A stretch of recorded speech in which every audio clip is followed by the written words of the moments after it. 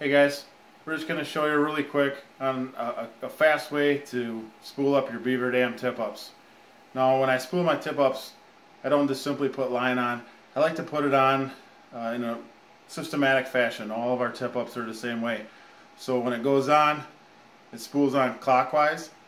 So I know when a fish takes it, I can unspool it before I grab it out of the hole counterclockwise and I can remember that easy every time if they're all the same um, way. So I'm going to spool this on clockwise and I'm going to use a cordless drill, a little faster way of putting them on. And I'll show you exactly how we do it here. So I get my Beaver Dam 25 pound test line that we like to use, put on a screwdriver, right in the hole, ready to come off.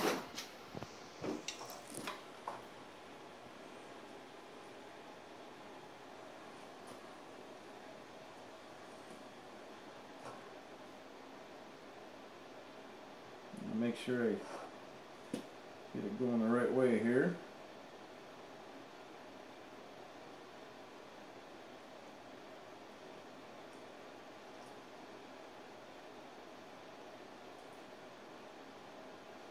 You know, some guys do what I'm doing and just let it go right to the spool. Other guys use a hole and tie it to that. Either way works fine.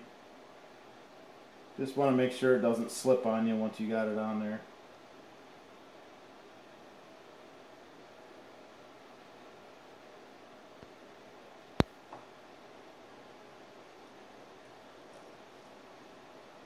Slide that knot right down tight.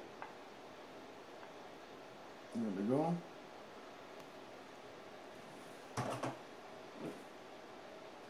cut close to that knot as I can.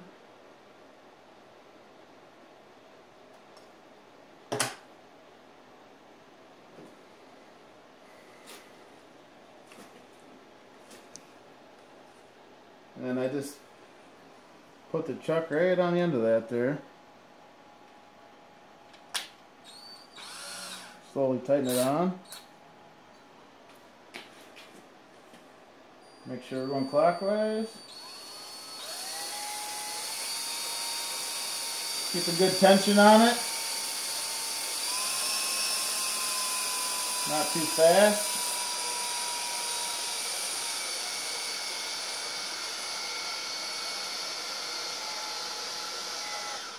And fill it up so you're all done. It's that simple.